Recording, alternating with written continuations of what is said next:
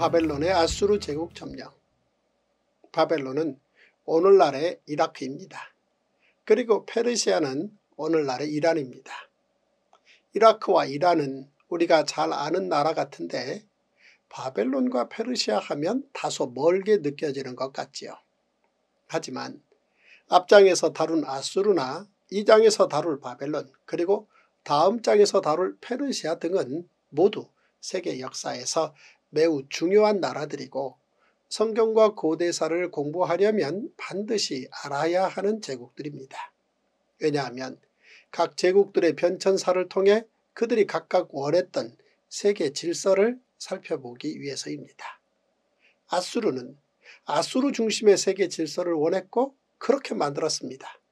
그러나 바벨론이 제국을 만들자 아수르조차 바벨론 중심의 세계 질서에서 피지배인의 삶으로 내려가야 했습니다. 그리고 페르시아가 제국의 주인이 되자 아수르와 바벨론이 식민지가 되어 페르시아가 세운 세계 질서에 따라야 했던 것입니다. 이것이 전쟁을 통해 세워진 제국이고 제국들이 만든 세계 질서는 끊임없이 변동했다는 사실에 주목해야 합니다. 우리가 세계사를 배울 때 첫 시간에 배우는 것은 주로 세계 4대 문명입니다. 세계 4대 문명은 주로 강을 중심으로 이루어졌는데 특히 메소포타미아 문명을 말할 때에는 유프라데스 강과 티그리스 강을 중심으로 문명이 발전했다고 기록되어 있습니다. 그 두 강 중에 티그리스 강을 중심으로 발전한 나라가 아수르이고 유프라데스 강을 중심으로 발전한 나라가 바벨론입니다. 그러니 아수르와 바벨론은 지리적으로도 서로 가까이 있었고 역사에서 함께 다루어지는 부분이 많을 수밖에 없습니다. 아수르가 BC 2000년경에 티그리스 강을 중심으로 나라를 세웠던 것처럼 바벨론도 BC 2000년경 유프라데스 강을 중심으로 오늘날의 바그다드 남쪽 지역에 나라를 세웠습니다. 바벨론은 역사적으로 함무라비 법전을 만든 함무라비 왕이 아직까지도 가장 유명한 왕으로 알려지고 있습니다. 함무라비 왕은 법전을 만들었을 뿐 아니라 정복전쟁에 나섬으로 대제국을 건설한 왕이기도 합니다. 그 후 바벨론은 함무라비 왕 이후로는 이렇다 할 특이사항이 거의 없다가 BC 16세기 히타이트족에게 침략을 당했던 적이 있고 아수르가 대제국을 건설할 때에는 내부로 인한 정치적 어려움과 이를 이용한 아수르의 침략까지 받아 겉으로는 독립국이었으나 사실은 아수르의 보호라는 이름 아래 속국 신세로 지냈습니다. BC 8세기 아수르의 사르곤 2세 왕이 죽고 아수르가 여러 가지 어려움에 처하게 되자 바벨론은 주변 여러 나라들과 함께 아수르의 반기를 듭니다. 이때 바벨론 왕이 브로닥 발라단이고 이 왕이 남유다의 히스기야에게 사신을 보냈던 바로 그 왕입니다. 열왕기하 20장 12절입니다. 그때 발라단의 아들 바벨론의 왕 브로닥 발라단이 히스기야가 병들었다 함을 듣고 편지와 예물을 그에게 보낸지라. 그 후로도 아수르와 바벨론은 엎치락 뒤치락 하면서 전쟁을 일삼다가 BC 612년 드디어 바벨론이 아수르의 수도 느네베를 공격해 대승을 거둡니다. 느네베를 빼앗긴 아수르는 하란으로 퇴각했지만 BC 610년 바벨론이 하란까지 쳐들어가자 아수르는 할 수 없이 하란을 포기합니다. 이로 말미암아 여기에서 아수르 중심의 세계 질서는 끝이 납니다. 이때 제국의 야망을 품고 정세를 관망하던 이집트의 바로누고 왕이 하란으로 올라가 아수르의 남은 군대를 모아 오히려 바벨론에 대항해 고대 근동의 주인 자리를 차지하려고 합니다.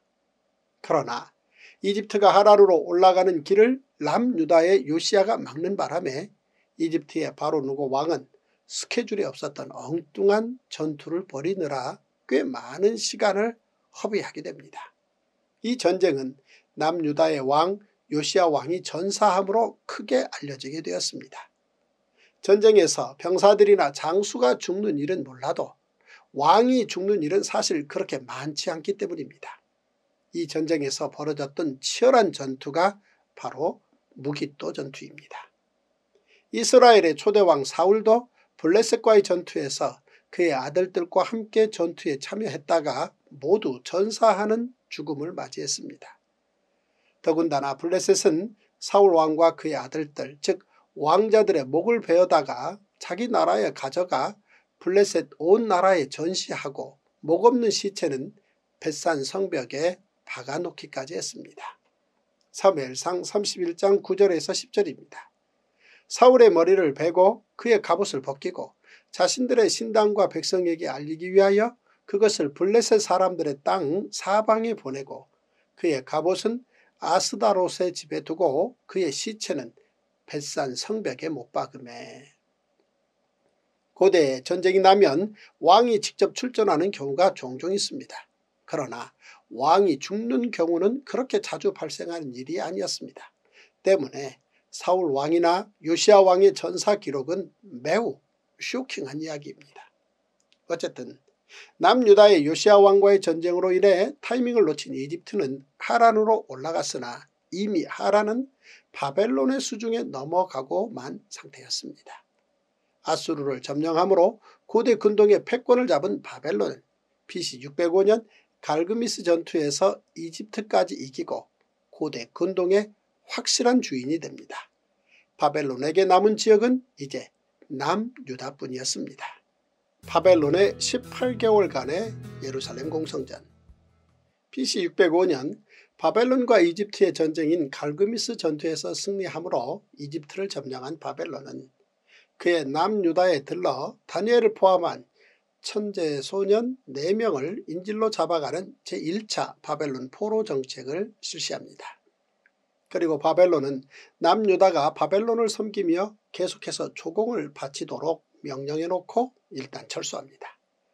그러나 남유다가 바벨론과 맺은 강화 조약들을 잘 지키지 않자 BC 598년 다시 남유다로 쳐들어와 남유다의 왕 여우야긴과 에스겔 그리고 1만여 명의 유능한 기술자들을 포로로 바벨론에 끌어갑니다. 이것이 제2차 바벨론 포로입니다. 열왕기하 24장 14절에서 16절입니다. 그가 또 예루살렘의 모든 백성과 모든 지도자와 모든 용사 만 명과 모든 장인과 대장장이를 사로잡아 가매 비천한 자 외에는 그 땅에 남은 자가 없었더라. 그가 여호야긴을 바벨론으로 사로잡아 가고 왕의 어머니와 왕의 아내들과 내시들과 나라의 권세 있는 자도 예루살렘에서 바벨론으로 사로잡아 가고 또 용사 7천명과 장인과 대장장이 1천명 곧 용감하여 싸움을 할 만한 모든 자들을 바벨론 왕이 바벨론으로 사로잡아 가고 이때 바벨론의 왕은 느부갓네살이었는데 느부갓네살은 갈그미스 전투의 승리에서부터 1, 2, 3차 바벨론 포로까지를 진뒤주의한 왕입니다. BC 589년 바벨론의 느부갓네살은 이집트와 함께 바벨론에 대항한 남유다를 짓밟기 위해 또다시 남유다로 진격해와 남유다 전체를 초토화시키고 예루살렘 성을 포위하기에 이릅니다.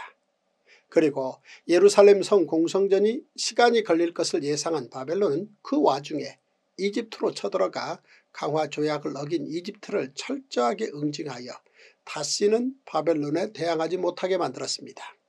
특히 이때 바벨론의 이집트에 대한 공격의 주안점은 이집트가 다시는 다른 나라들과 무역을 하지 못하도록 이집트와 무역을 하는 국가들의 왕래를 막아 경제적인 모든 면을 차단했다는 점이 매우 중요합니다. 전쟁은 외교 안보는 물론이고 경제와 밀접하게 관련이 있습니다. 국가의 경제력은 튼튼한 국방과 연결되어 있기 때문입니다. 바벨론이 이집트의 무역을 철저하게 차단한 것은 이집트의 경제를 짓눌러 독립할 길을 근본적으로 막은 것이고 전쟁사에서는 이런 예가 포이니 전쟁에서도 발생했었습니다. 포에니 전쟁은 로마 이야기로 가서 좀 더 자세히 다루겠지만 사실 3차 포에니 전쟁은 발발하지 않아도 되는 전쟁이었습니다. 제2차 포에니 전쟁으로 로마는 카르타고에 대해 철저하게 승자로 자리 잡았기 때문입니다. 그런데 로마의 카토라는 원로원 의원이 카르타고를 답사하고 그곳에서 모아가 열매를 가지고 와서는 원로원 회의에서 발언을 하면서 폭탄 선언을 했습니다. 이것이 카르타고의 미래이다. 이 무화과 열매처럼 카르타고는 농업이 큰 성과를 내며 잘 되는 곳이기 때문에 카토는 카르타고를 내버려 두면 다시 경제가 활성화되고 경제가 뒷받침되면 용병을 구하게 되고 결국 카르타고는 다시 로마를 공격할 것이라는 논리를 폈던 것입니다. 카토의 주장에 동의한 로마는 카르타고가 로마와의 강화 조약을 어기도록 뉴미디아를 이용하여 카르타고를 부추겼고 이를 핑계로 로마는 다시 카르타고를 공격해 카르타고 전체에 불을 지르고 불에 타버린 카르타고 전역에 소금을 뿌려버렸던 것입니다. 이것이 전쟁이고 전쟁과 관련한 경제이며 국방이고 외교안보입니다.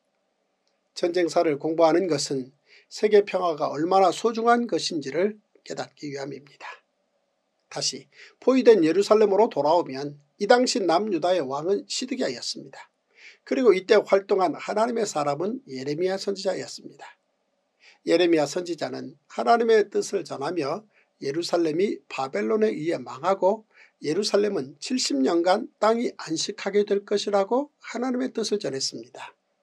역대하 36장 20절에서 21절입니다.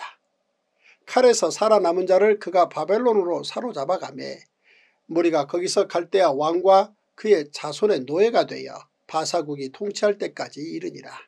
이에 토지가 황폐하여 땅이 안식년을 누림같이 안식하여 70년을 지냈으니 여호와께서 예레미야의 입으로 하신 말씀이 이루어졌더라.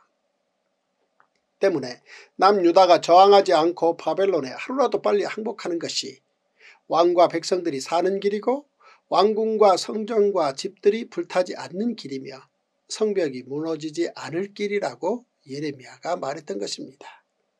예레미야가 하나님의 뜻이 바벨론 포로 70년이고 하나님의 이 뜻은 결코 돌이킬 수 없다는 것도 말해주었으나 시드기야 왕은 예루살렘 성 안에서 18개월 즉 1년 6개월을 버티며 공성전을 이어갔습니다. 공성전이 계속되면서 바벨론은 몇 차례나 강화를 요구했었을 것입니다. 보통 공성전 중의 강화는 만약 항복하면 이러이러한 호의를 베풀겠다라는 내용입니다. 그러나 강화 제의를 거절하면 성이 함락된 후에 철저한 응징만이 있을 뿐입니다. 이미 근동에 새 질서를 세운 바벨론이 작은 나라 남유다의 예루살렘 성 밖에서 18개월간의 공성전을 치른다는 것은 참기 힘든 일이었을 것입니다. 바벨론은 예루살렘 성 안으로 어떤 음식물도 들어가지 못하도록 철저하게 막았으므로 예루살렘 성 안의 삶은 피폐하기가 이를 데 없었다고 기록되어 있습니다. 때문에 BC 586년 예루살렘 성이 함락된 후에 어느 나라보다도 강력한 바벨론의 보복과 응징이 이루어졌고 성벽까지도 완전히 파괴되었던 것입니다. 예루살렘은 초토화되었고 포도 농사를 지을 소수만 남겨놓고 불타 죽지 않고 살아남은 사람 대부분이 바벨론으로 끌려갔습니다. 또한 바벨론은 예루살렘 성전에서 하나님께 제사 드릴 때 사용하는 기구들은 모두 녹여서 가져갔고 그릇들도 모두 실어갔습니다. 이를 제3차 바벨론 포로라고 말합니다. 이때의 상황은 고고학적인 자료들에 따르면 남유다 전체 대부분의 도시가 너무 심하게 훼손되고 파괴되어서 마을 대부분이 텅 비어 있었다고 기록되어 있습니다. 두 눈이 뽑힌 왕 시드기야. 전쟁사를 보면 패전국 왕들의 두 눈이 뽑혔다는 기록이 의외로 많이 나오는 것을 발견하게 됩니다. 이는 끝까지 저항한 왕들에게 가해지는 일반적인 응징의 형태였기 때문입니다. 그리고 전쟁사를 공부하다 보면 전쟁 중에 발생하는 인간의 잔인함은 동서양이 다르지 않다는 것도 자주 드러납니다. 남유다의 시드기야 왕은 두 눈이 뽑혀 평생 바벨론 감옥에서 그 상태로 살다가 죽게 된 불행한 왕으로 기록되고 있습니다. 더군다나 그가 두 눈이 뽑혔을 당시가 32세였음을 생각하면 그의 두 아들은 아마도 어린 소년들이었을 것입니다. 그러니 시드기야가 두 눈이 뽑히기 전 마지막으로 본 것은 어린 두 아들의 목이 달아나는 것이었고 그것을 마지막으로 다시는 세상을 보지 못하게 된 것이었습니다. 열왕기하 25장 7절입니다. 그들이 시드기야의 아들들을 그의 눈앞에서 죽이고 시드기야의 두 눈을 빼고 노사슬로 그를 결박하여 바벨론으로 끌고 갔더라. 한 나라의 왕이 이런 처우를 당했으니 패전국의 일반 백성이 당한 고통은 이루 헤아릴 수가 없었을 것입니다. 이것이 나라 잃은 서러움이라는 것입니다. 그래서 남유다의 백성들은 끌려간 바벨론 강가에서 그렇게 울며 시온을 그리워했던 것입니다. 1970년대 전 세계적인 인기를 끌었던 슈퍼 디스코 그룹 Boney M이 불러서 크게 히트한 노래 가운데 바벨론 강가에서 라는 곡이 있습니다. 이 곡에 맞춰 많은 사람들이 흥겹게 춤도 많이 췄던 것 같습니다. 그러나 이 곡은 바벨론 포로로 잡혀간 이스라엘 백성들이 포로된 신분의 처량함과 비참함에 눈물 흘리면서 시온을 그리워하며 부르는 노래입니다. 나라를 잃었다는 것은 민족적인 고통입니다. 바벨론 강가에서 바벨론 강가에 우리들은 앉아 있었어요. 그래요. 우린 시온을 생각하며 눈물을 흘렸어요. 사악한 무리들이 우리를 납치하여 끌고 가 우리에게 노래를 요구하였지요. 그런데 우리가 어떻게 이방의 땅에서 주님의 노래를 부를 수 있었겠어요. 우리들의 입술 사이로 흘러나오는 언어와 마음속에 연근은 명상을 오늘 밤 주님의 눈앞에서 거두어 주소서. 그러나 그렇게 잔인한 나라 바벨론 제국은 제국들 중에 가장 수명이 짧은 70년 제국이었고 하나님의 말씀대로 70년 만에 망해 하나님의 몽둥이에 불과했음을 드러냅니다.